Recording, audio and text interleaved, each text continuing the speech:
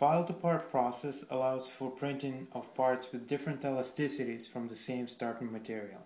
So as you can see the part on the right is rigid, the second one is much more elastic, and the third one is pretty soft and elastic and behaves quite different.